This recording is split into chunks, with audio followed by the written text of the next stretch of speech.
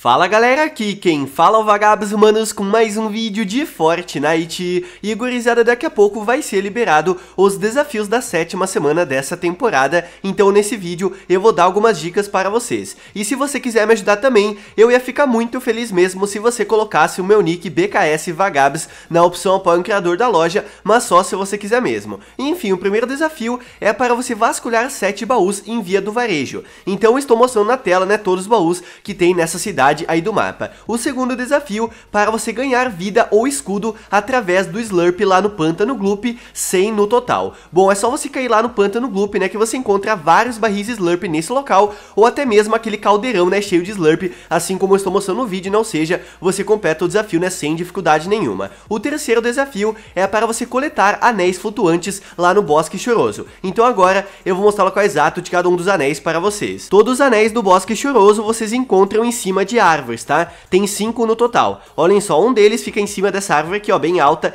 entre aquela estrada ali do Pântano Gloop e o centro do Bosque Choroso. Vindo aqui pro lado direito, tem outro anel no topo dessa árvore, como dá pra ver. Vindo aqui pro lado direito novamente, ó, bem pertinho, tem outro anel no topo dessa árvore bem alta também. Agora vindo aqui pra frente, ó, vocês podem encontrar outro anel aqui em cima dessa árvore. E o último anel flutuante vocês podem encontrar no topo dessa árvore aqui. Ou seja, todos cinco anéis eu estou marcando agora no vídeo para vocês. É só vocês pegarem, né, todos eles, como acabei de mostrar, estão em cima de árvores bem altas. Por isso é muito mais fácil você fazer o desafio no modo equipe tumulto, porque você já começa, né, com bastante material na partida, você não precisa ficar coletando material, né, pra ficar subindo até as árvores e coletar os anéis, é só você já começar, né, com o material do modo equipe tumulto, que você consegue, né, coletar os anéis sem dificuldade nenhuma, uma maneira, né, muito mais fácil, com certeza, pra você completar esse desafio aqui. Outro desafio é para você encontrar novelos de lã lá na Toca do Gato. Um novelo de lã vocês podem encontrar aqui do lado do posto de gasolina do local, né? Como dá pra ver, bem na frente, ó, dessa câmera de segurança.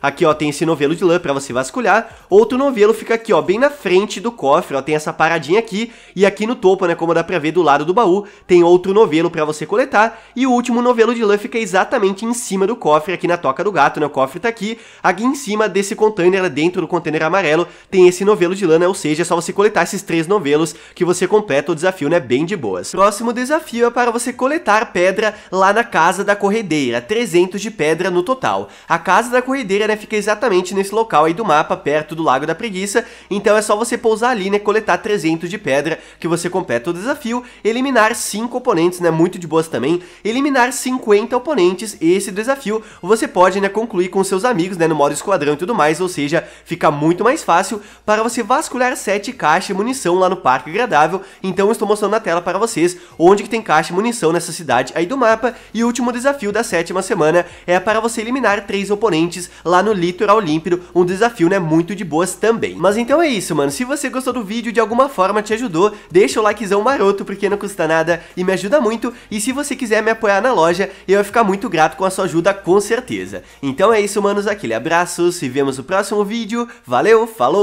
e eu fui!